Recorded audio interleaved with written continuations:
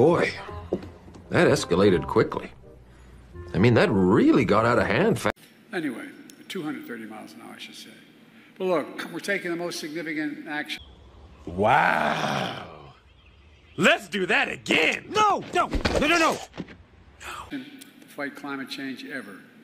My policies have attracted $650 billion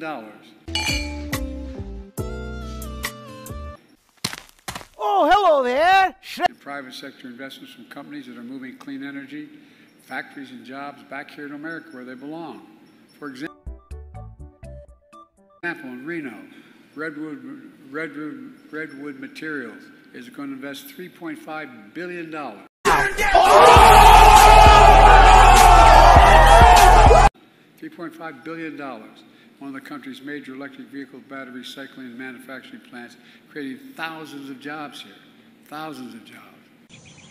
Well, come on inside and get yourself something cool to drink. Oh,